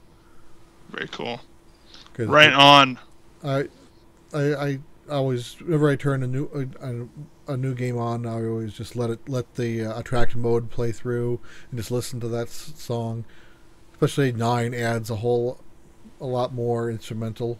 Uh, you know, not a, I can't I can't put my words together today. Uh, it, it adds more. It seems it has it has more tracks in, in its song. It just sounds fuller than you know playing through. I played most of four earlier this year. I played most of five last year, and just the soundtrack just seems more bigger with this. Uh, It's got more oomph. yeah, it's got more oomph with nine. Cool. Right on. Well, that's that's awesome.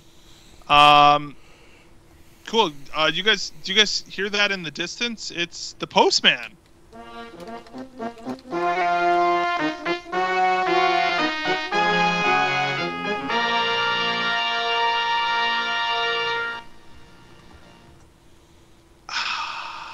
The postman. Nothing, nothing better than the smell of the postman in Smell the of the postman.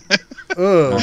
is that that nice fragrant you know by the way you ever think like the postman probably he's probably smells like I don't know, like like the smell of like body odor and dirt. I don't know. Oh yeah, I don't. I don't imagine him to be a good smelling man. He smells like a track Mm, meet. No. You know. Probably sweaty. I would. I would say that sounds all right. right on. So Yeah. speaking of, uh, I, speaking I of used to I used to be in track, and I remember our, when I was in high school, and our first big event at the end of at the start of every season was an indoor meet, and that gym stank as all hell by the end of the night. Yeah, that's what I'm talking about. that's awesome. I was glad to get back outside again. Yeah. Uh, cool. I'm going to read the first email here, guys. It says, Hey, guys, it's Chris again. I wanted to ask you guys about, from what I understand, is Nintendo's only game with voice chat, Pokemon. I love Pokemon very much, but the game's been. The games have been a dime a dozen lately. I'm actually hoping I don't have to beat eight gym leaders this fall. This coming from a guy who has a complete living national Pokedex on Pokemon Bank. The question is, when is the Pokemon equivalent of Ocarina of Time coming? What can this series do to break free from the rote hell it's currently gotten itself into? Thanks, Chris. Um, I don't Yeah, think it well- can. I think well here's to address it first of all the only game with with voice chat there are other games with like Mario Kart 8 has voice chat in the lobbies and stuff. Um there are other games that I think have had voice chat. It is the one that has the, the most strangely enough it's one of the most integrated you know? It I mean the quality of the voice chat isn't that great though. It's pretty pretty much sounds like a tin can. Um but yeah what do you what do you guys think um Justin or, or Jesse, like, what do you think they could do for that series uh, that would rejuvenate it? You know, saying it's the Ocarina, the Ocarina of Time moment, so like creating it into something big and amazing. What do you think, Jesse? Uh, I know. I've I've heard it suggested, but from on another show, I don't remember which show I was listening to, but uh, if they want wanted to you know reboot Pokemon in a way, you know, but you know, started over with a fresh 150, whether it's a new batch or a mix of old and new, and just say that's it. But I think that's going to piss off a lot of people. Yeah, I don't they, think they, that- they want their collection of 750 of them, or however how many there are. Especially since now that they have Pokemon Bank and they've sold the idea of, uh, you know, of here here is your collection of 750, right? Like that needs to maintain its value. You know what I mean? Like they're almost beholden True. to that to So- that there. So I don't think they're going to reduce the number. Right. Um, but, but I do think that the gameplay needs a pretty big overhaul uh, in order to be appealing again. Because other than the the sort of the group of players that will play through the main campaign and then do nothing but um, you know try and min max the stats of the of their Pokemon and and you know like uh, like my brother for example is huge into Pokemon and he's he'll, he'll be like sitting on his 3ds some like this was a while ago. I don't he's he's actually gotten into monster hunter instead which is a whole different level of grindy gameplay. It's a similar sort of crowd you know similar sort of draw. But uh, i he, i would like you know he i would go over to his house or whatever and i'd see him and he'd be sitting on his 3ds like hey what are you doing and he's driving back and forth on his bike you know hatching pokemon eggs and like trying to get that perfect the Pokemon with the perfect stats as you know with the Pokemon breeding and stuff like that. wow. And um, you know, it's like wow, this is really what this game has come to. Um, I've which, I mean, been that- that, that's- hardcore with it. you know, I mean, like people that, it, but that's kind of what that game has started catering towards is to encourage that sort of gameplay, and I think that is a that is frankly not a good direction for that franchise to go, um, where your post game is Pokemon breeding and stuff like that.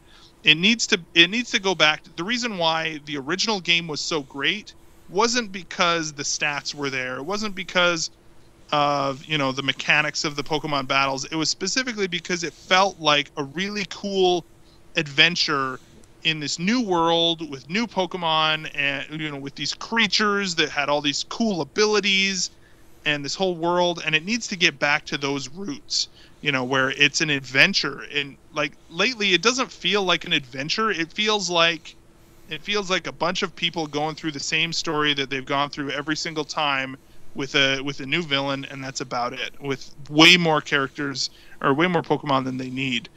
Uh, you know, getting back to that sort of exploration, and I've always kind of imagined this sort of game where uh, where they where they kind of turn it more into a 3D sort of game, almost like a like a Zelda sort of game, where you know you could you can imagine where you know there there's the the concept of HMs or what they're hidden machines or whatever, but basically in the in the games currently it's things like quick travel. You know, you use the HM whatever it is for flying or cut or you know traveling on water and stuff like that.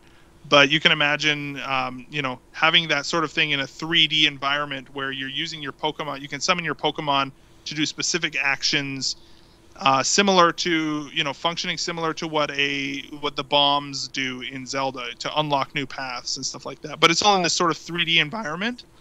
Um, i would love to see something like that happen um, the idea of the the Pokemon MMO has been thrown around. I actually think that's not really that good of an idea anymore because they'd end up just doing what they currently are doing in an online format, and I don't think that's a good idea. So I don't know. I think that the spirit of Pokemon is what has been lost for me, and that is what they need to reconnect with. Uh, with that original sort of you know red and blue going out on a cool adventure maybe maybe pull back on the cartooniness a little bit and, and give get a little bit more um, I don't want to say realism, but you know, a little bit more and I don't want to even say grit, but it just feels like that as it's transitioned away from the original GameCube generation, uh, it's it's kind of developed this art style that I don't feel reflects the original games very well. So anyway, I've kind of gone on for a while to, about that. What do, what do you think, Jesse or, or Justin? So- that would draw you into it? Obviously, we all know that I am a Pokemon proficionado. yes. So here is my complete opinion. Um, I'm going to go for, and again, I, I have no context of Pokemon, so I'm going to tell you right now what I think, and it's along the idea of Zach's grittiness.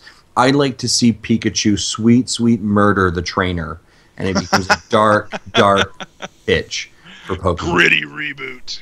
Yeah, Didn't PETA put out where a he struggles like with moral dilemmas. that does that? I don't know. That's what I'm thinking. Yeah. and maybe he becomes a villain and he becomes Maybe. overpowered with with hunger uh, or, or, or becomes unstoppable with hunger and rage and then destroys all the other like like stalks every single other pokemon one by one and slowly kills them yeah. until Yeah. there can only be one pokemon Yeah, that makes sense to me, man. You're welcome It's like like Pokemon Fighters, but like throwing a little bit of Mortal Kombat in there. And and a little more bit of highlander there can only like- be Oh, by the way, Pikachu. that is that was something more that like I totally. that was more like Zatch Bell than anything else. By the way, that's Look something that up totally, if you don't know what that is. We totally forgot to bring up Pokemon Fighters, um, which is their Pokemon fighting game that has been, you know, around for a while. I think we're going to see that at E3. I'm just going to throw that in there. It's not a official prediction, but just wanted to remind everybody that that exists. Um, so yeah, The only other thing I can think of is to find some way to get it away from turn-based. Have it more real-time action sequences with the fighting, and the Yeah. combat. You know, I kind of I kind of think about you know in Brawl where you controlled. Uh, imagine like a 3D platformer almost, um, but it, imagine it like in in Smash Brothers Brawl, you controlled the Pokemon, but the trainer would follow the the the Pokemon around when you played as the Pokemon trainer. Imagine a 3D platformer where you control the Pokemon and you still see the the trainer running behind or whatever, but you could cycle through your Pokemon in order to solve different platforming challenges and stuff like that. I would totally play a game like that. So you're playing Skylanders. There, yeah, I guess so. Oh my gosh, dude! What if that was? What if that was like Amiibo? Oh no! That is the Pokemon Amiibo game right there. Done. so, oh man, wow! We just uncovered that one. That that is a nightmare. Uh, cool. Uh, Justin, why don't you go ahead and read our our uh, other email here? Sure, give me one second here. Do do do do do. Okay, our next one is uh, Hey Nintendo Dads, Holden Moffat here. Fun question: Is it possible that Nintendo held back system back system power on the Wii U because they knew something we don't? AAA companies have grown stagnant in their uh, risk adverse models because development is so costly. And smaller developers are being swallowed by the congested markets of Steam and iOS. Top it off with a general consumer distrust in the air due to freemium practices. Uh, can any parallels be made to 1983? And is there an impending rearrangement where the NX is the turtle that wins the race? Feel free to tell me how I am wrong. Uh, P.S. In regards to Splatoon, do you have hope in the new generation of Nintendo developers? Uh, is another Miyamoto being hearkened? So let's maybe first deal with the PS statement and then deal with the meat of the question. Okay. So um, I'll go on, on that one first. I have absolute faith in the in the new developers for Splatoon.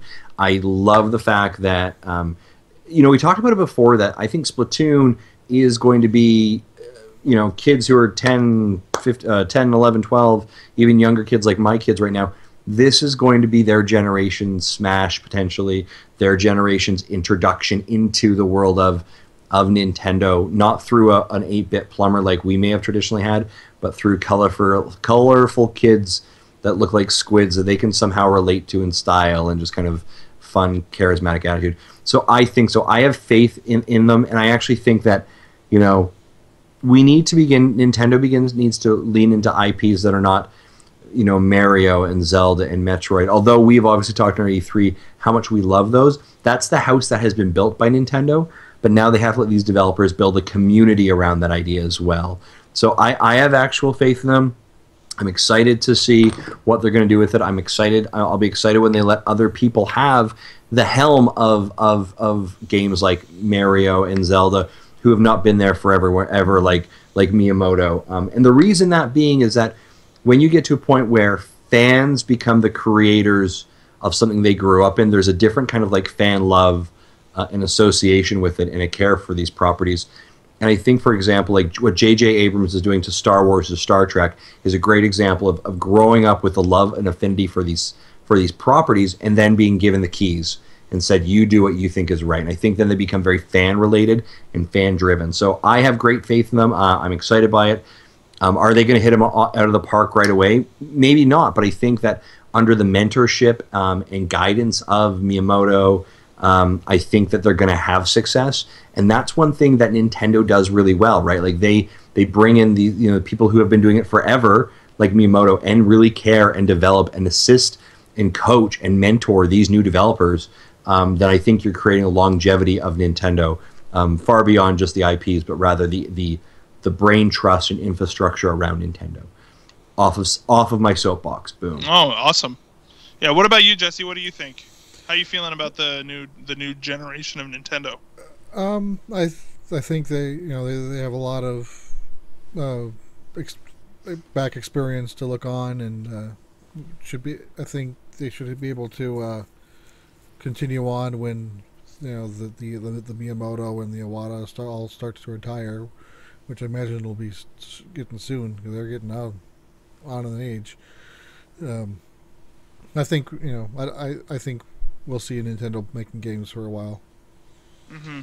Yeah, I think uh, you know. I mean, we've even kind of seen Miyamoto lately. You know, he has kind of moved into more of that mentorship sort of role, right? Where he yes he has his sort of special projects and stuff he's working on, but as we see him continue to to you know move more into that mentorship role, I think that that is the best place for him to be because that's that is going to be his you know and not just him you know I mean like same goes for people like Aonuma and uh, you know the the people behind you know all of the hit Mario games lately that moving into that more producer uh, mentor sort of role is going to be great for these new developers and these new teams. And I think that Splatoon is the first, uh, the one of the first big games that is you know showing this new blood really bring some new creativity out.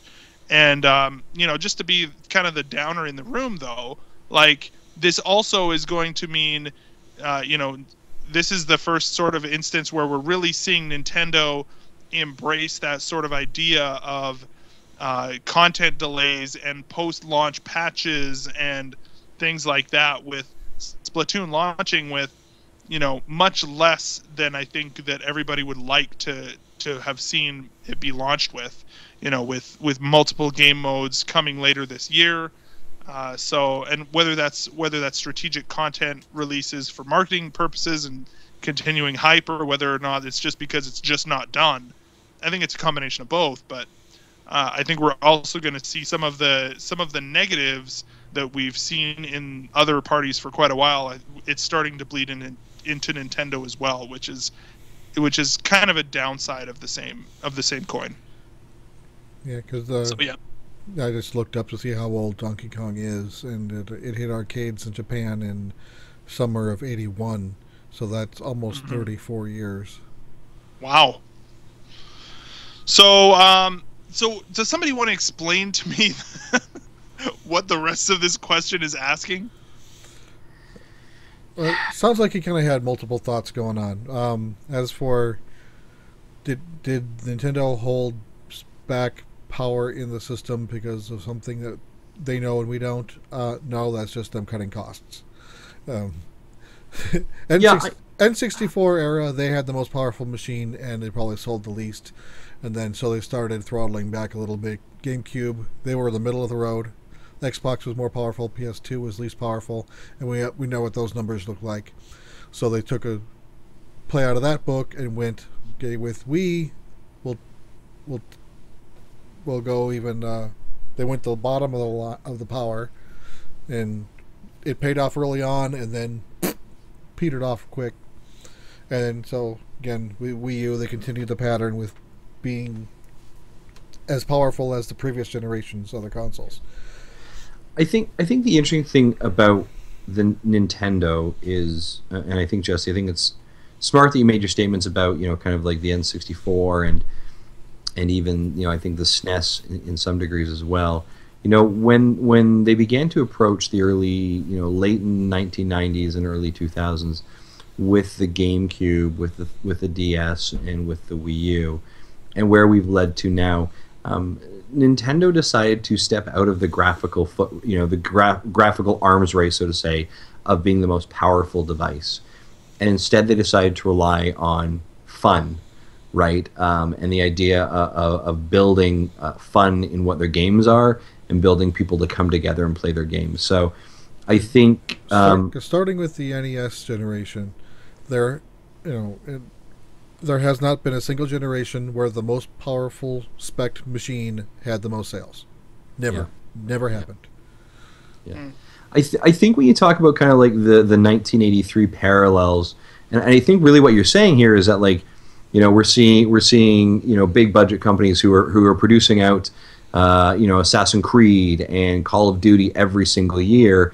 You know, is th- does that high turnover and you know, expeded um, development times eventually create a flop? Now, uh, that can wreck the market. Now we, we know that you know we talked about like the the ET Atari game that didn't you know although it's blamed as toppling the entire video game industry in the late 80s that wasn't the only thing right Yeah, like it- there was a lot of other pieces that got us Well, there Yeah, it, it was like the the straw that broke the camel's Yeah. back because because they, they I think ET and Pac Man they thought those would be system sellers and actually pu- produced more cartridges than consoles that have sold.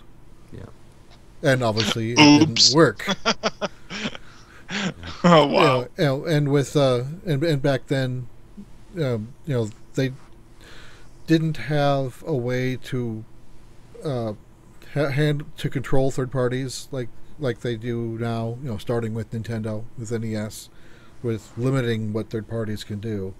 So they just they they put out shovelware, and which so the good games were harder to find than if you you know if if grandma's going to a an EB Games or whatever was game stores was out there, you can find you know a bin full of five dollar crap games, and so you know why buy this thirty dollar game on the shelf when I buy you know I can buy ten of these, and so Mhm. it was hard for the good games to be noticed, and therefore they didn't sell either, and that's what caused the eighty three crash.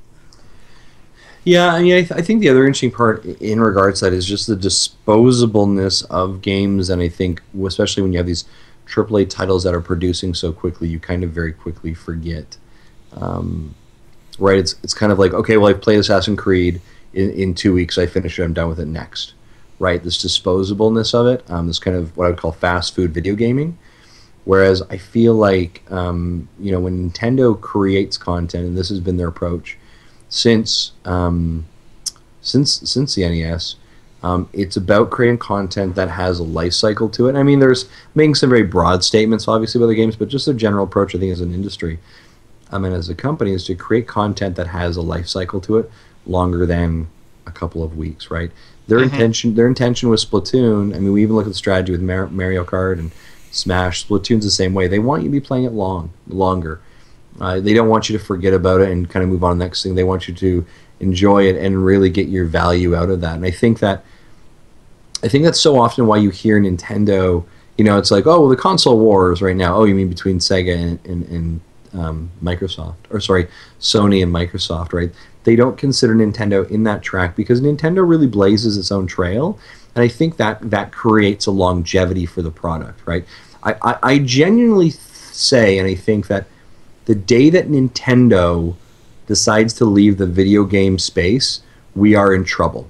We are in a, lot of trouble from a design perspective, from a fun perspective, from from an innovation perspective, um, because so much of the archetype or architecture that is modern video gaming now has been because of the work that Nintendo did and the products that they've created and the fans that they've created. Right, we're all we're all fans of, of Nintendo, but we're all fans of video gaming, and a lot of that, Right. for most of us, roots all the way back to playing our first video games with Nintendo. And- Sorry, and I-. And I think I've mentioned this before. If you look at your traditional controller, almost every piece of that was done by Nintendo first. You know, Yep. D-pads, you know, the NES and the Game and Watch. You know, shoulder buttons, SNES, Rumble, N64, uh, analog stick, N64. wireless is for the Wavebird, right? Like Yeah. tons of Right. You know, and uh, I think- four, I think four going- face buttons, E SNES. yeah. And so when you at, sorry, go ahead. Uh, go ahead, Zach.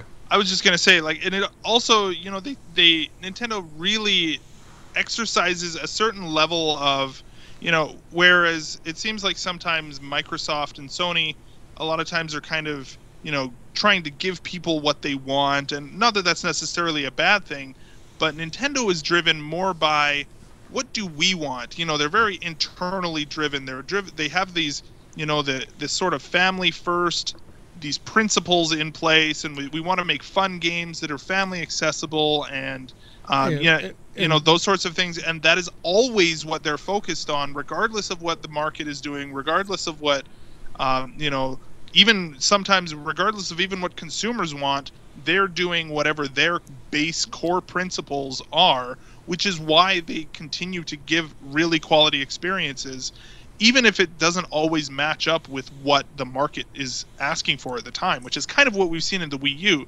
You can see, it, I, you know, I can just imagine, you know, the the people at Nintendo who are like, the Wii U is such a great idea. It's such a great sort of, you know, this great product that we all would love in our lives, and you know, kind of oblivious to the fact that the market doesn't want it, but they want it and they think it's a great idea and it matches their core principles.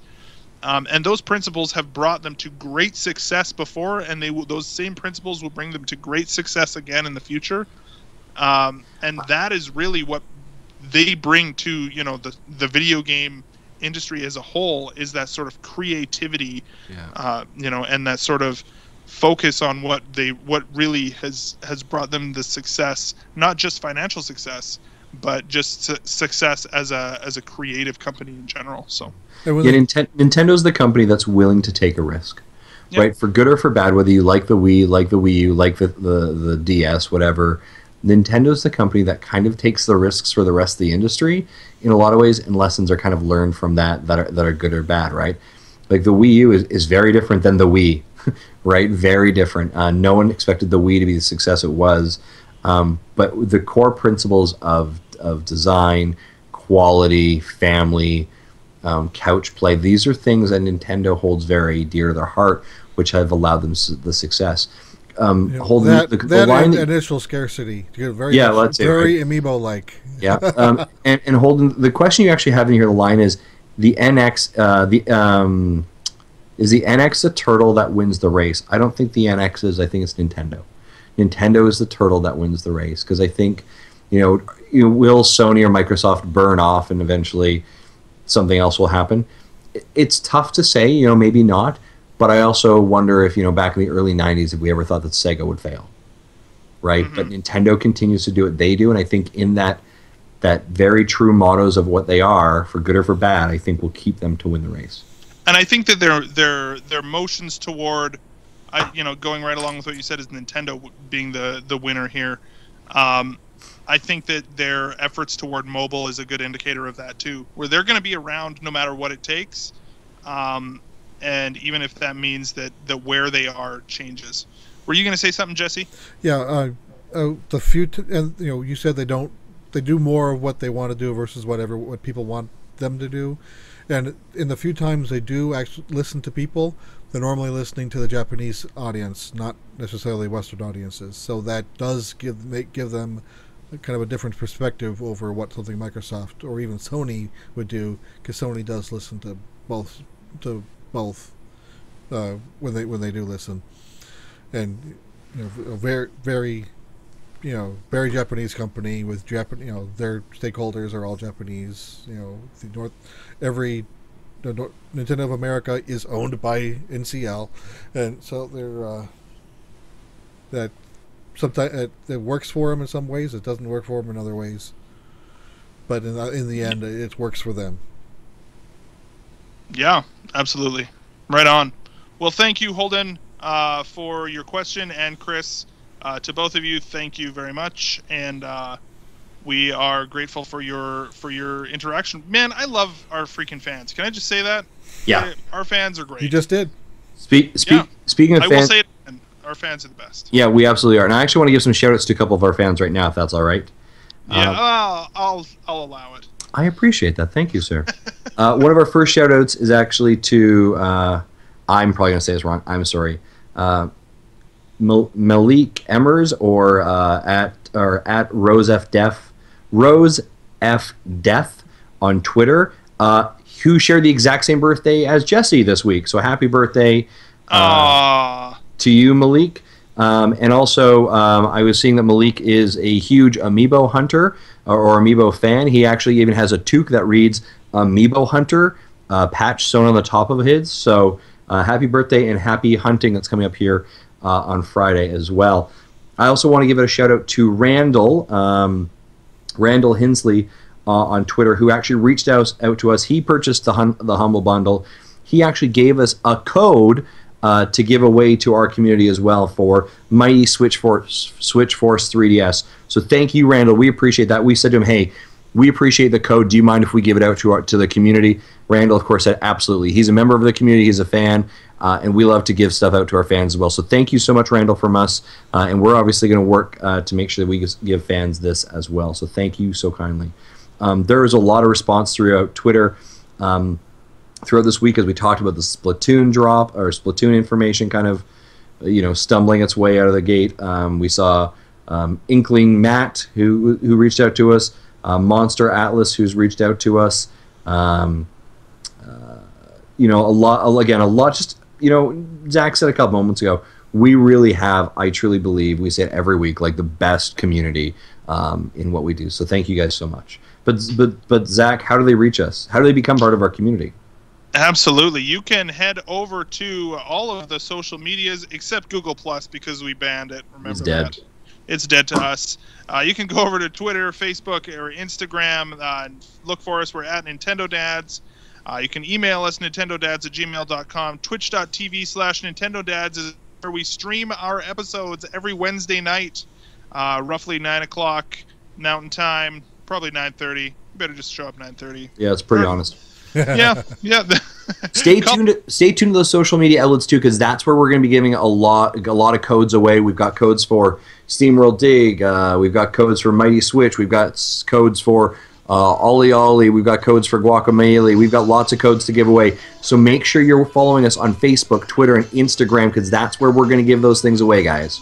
Yeah, absolutely. Uh, you can also call in and leave us a voicemail. That's 929-25-NDADS, 929-256-3237.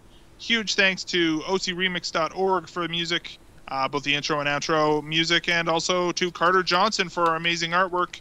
You can he- head over to megacarter.tumblr.com and see all of her awesome artwork. You guys go over and check out her artwork because she is a freaking talented uh, human being, and uh, we are so grateful for her awesome artwork for us. Uh, finally, if you want to do just one thing this week to make the world a better place, go over to iTunes and leave us a five star rating on iTunes for Nintendo Dads there. Uh, that helps us get to in as many ears as possible. Uh, you know, for the rest of humanity to enjoy what you have just finished enjoying. So please, oh please, go over there and leave us a review. You can also do so on Stitcher, and of course, go over to VGTribune.com to listen to us over there as well. Which is where you also can find Justin's review of Swords and Soldiers Two. and uh, yeah, uh, everybody, go and ink yourself this weekend on Splatoon and get some amiibos, and we will see you all next week. Bye bye.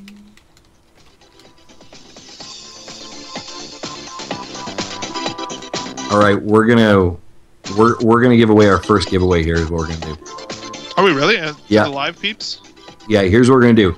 If you are still listening to the very end of this episode, to be able to get your copy of a free code for SteamWorld Dig, I want you to rewind back, find that phone number that Zach provided, and call into our line. Oh, Be the snap. first person to call in and tell us your E3 prediction and make sure that you leave us an email address or a Twitter handle that we can contact you back, and we will provide you a code for SteamWorld Dig for either 3DS or for your Wii U. And this will also go for anyone who's in Europe. If you're in Europe, we can also provide you a code for your 3DS for SteamWorld Dig. All right, guys? So again, go back, call into our line, tell us what your one E3 prediction, leave us an email address or a Twitter contact where we can reach you directly. Hot dang, dude. How can you argue with something like that? That's a SteamWorld Dig's one of my out. favorite. It's really fun. I actually am going to go play it right now. You should. All right, I'm going to fade this music out. Peace, everybody. Peace.